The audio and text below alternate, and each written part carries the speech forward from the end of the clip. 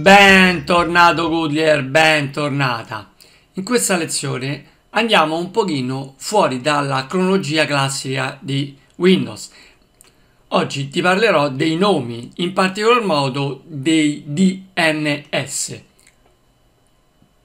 La sigla DNS sta per Domain Name System, ossia sistema dei nomi di dominio in pratica computer server in giro per il mondo che sono collegati tra loro in cui vengono archiviati in maniera distribuita tutte le assegnazioni tra i vari nomi di dominio e indirizzi IP dei vari siti, delle varie utenze. Sì, ma cos'è in fin dei conti? A cosa serve?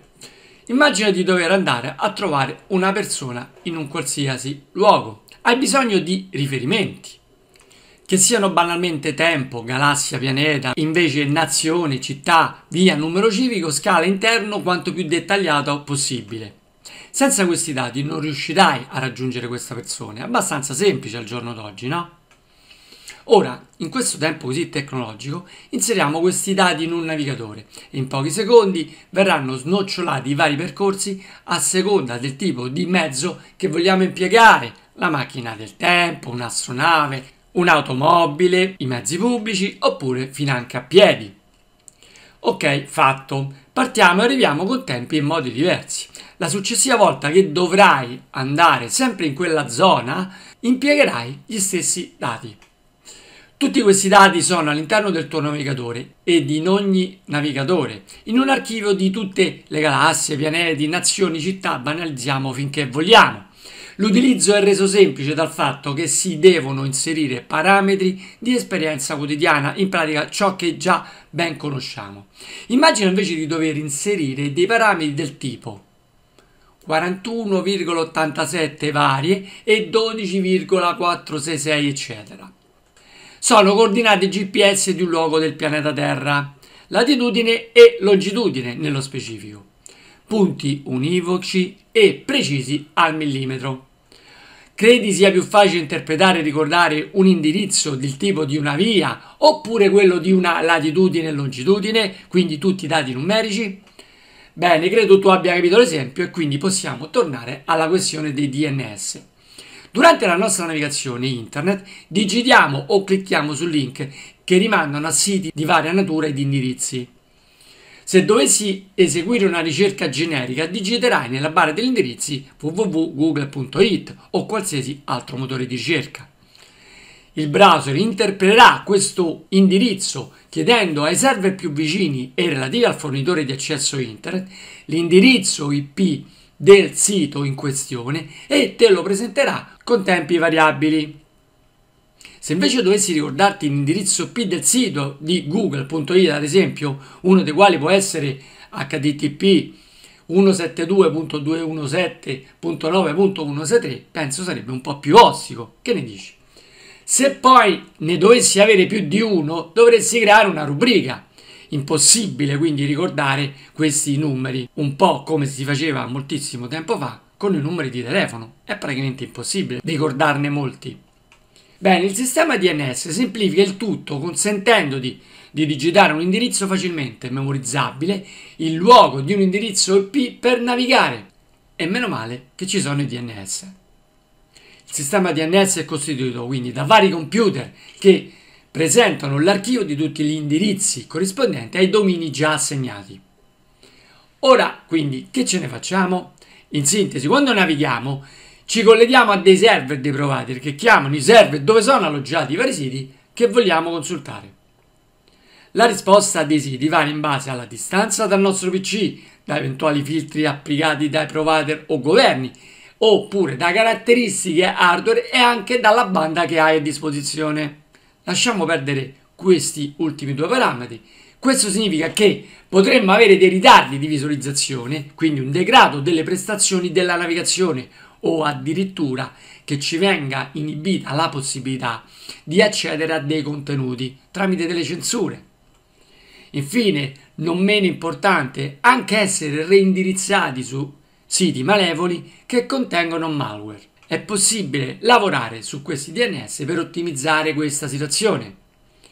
Puoi alterare i valori di connessione ai siti cambiando le impostazioni della tua navigazione o all'interno del router o della connessione.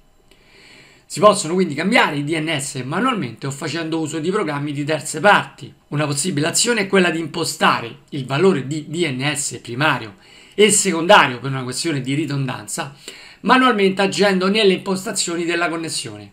Come? Vai nella sezione impostazioni e clicca sul pulsante rete ed internet.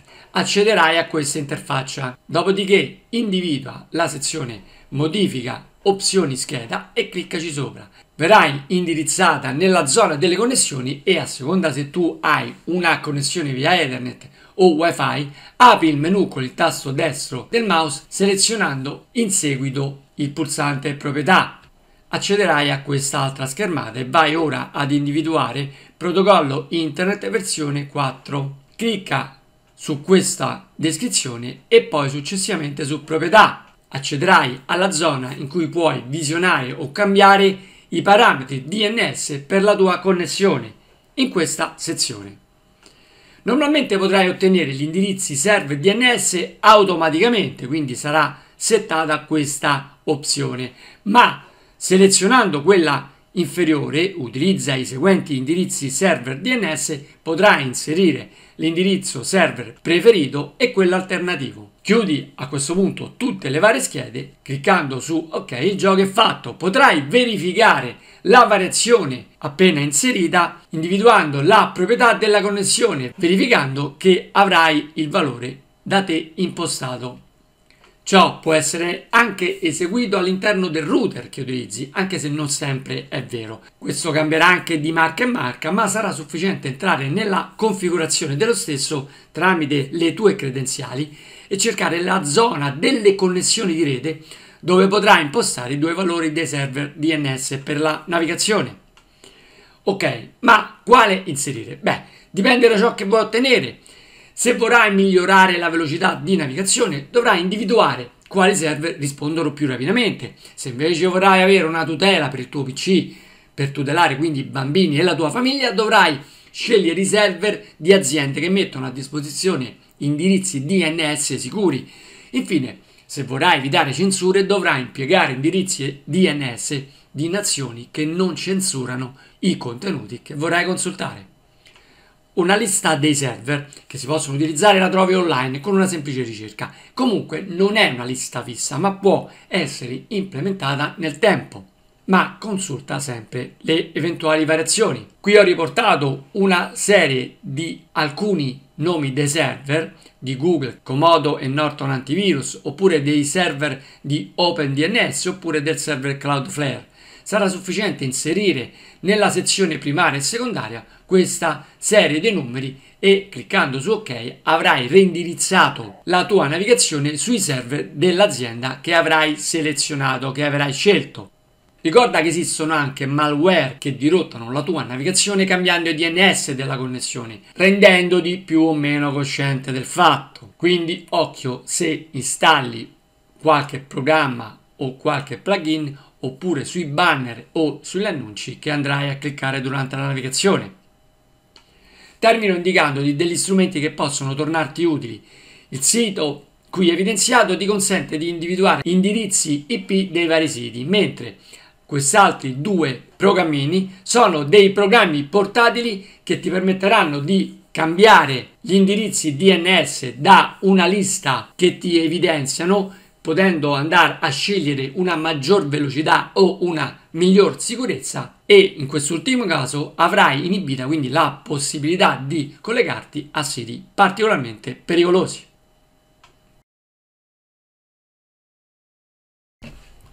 Bene Goodyear, andiamo a vedere rapidamente come cambiare i nostri server DNS dalla sezione impostazioni. Clicchiamo sul pulsante rete e internet Dopodiché individua la sezione Modifica opzioni scheda.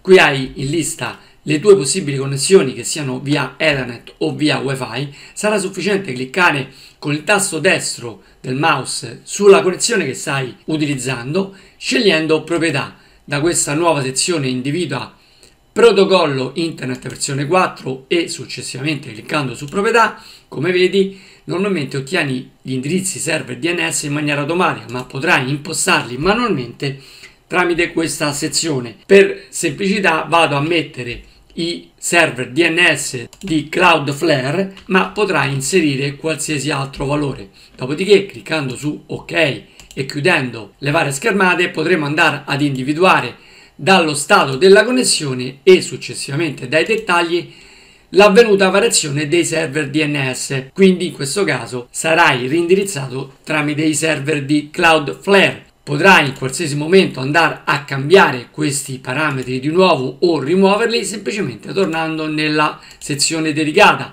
o cambiando i numeri, gli indirizzi dei server DNS oppure ottenendo di nuovo questo indirizzo in maniera automatica cliccando su ok andando ora a verificare l'avvenuta variazione e il ritorno alla navigazione tramite server DNS standard che sono dettati dal tuo router e dal tuo provider. Quindi in qualsiasi momento potrai gestire al meglio la tua connessione. Ricorda che puoi cambiare anche in maniera automatica tramite dei programmi di terze parti, link a dei programmi che ti metterò nelle note dell'episodio e li potrai scegliere dalla lista presentata o in base a una sicurezza o in base alla velocità, senza andare a smanettare direttamente i parametri da te stesso. Ok, nella prossima lezione ancora nuove informazioni per Windows 10. Ora come sempre un forte saluto, ciao a presto da Gallo e alla prossima!